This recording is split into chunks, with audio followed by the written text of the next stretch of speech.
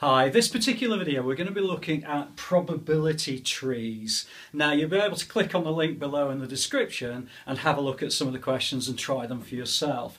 In this particular question we've been given two things to do. The first one is to complete the probability tree and the second one is to calculate the probability that Hannah wins both matches. One of which is a badminton match which she's obviously very good at because 9 out of 10 matches she plays she wins. And then tennis, two out of five matches that she plays, she wins. Okay, so we're going to complete this. Well, let's look just initially at badminton. Well, nine out of ten times she wins, so therefore, one out of ten times she doesn't win. And then it's exactly the same with tennis. Now, at the moment, if you just ignore the bottom bit and just look at tennis on its own, we've got this um, tree here, it's called a, a tree diagram. So two out of five times she wins, which means that three out of five times she doesn't win. Okay, and it's the same with this one. We just simply repeat the exercise. Now the reason that we do that is to answer the second part of the question, which is this one here, the probability that Hannah wins both matches.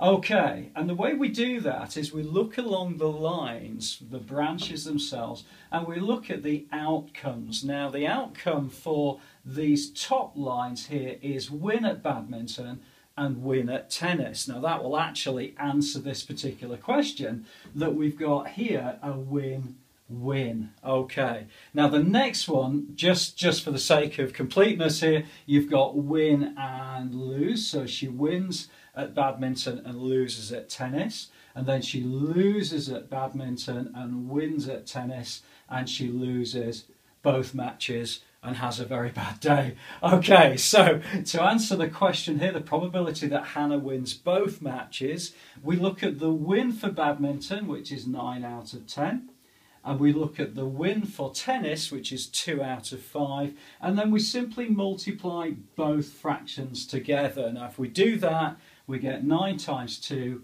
is 18, and on the bottom we get 10 times 5, which is 50. Now if you wanted to also, that would answer the question, but it's really good practice when you're dealing with fractions to reduce that to the lowest possible values, which is 9 out of 25. So in other words, what we're saying is for every 25 games of badminton and tennis that Hannah plays, she wins nine times both games. Okay, I hope that's been okay for you. Please do add a, a comment below, like, subscribe to the channel. Uh, if you're not sure about anything, please do add a comment and I will always come back to you.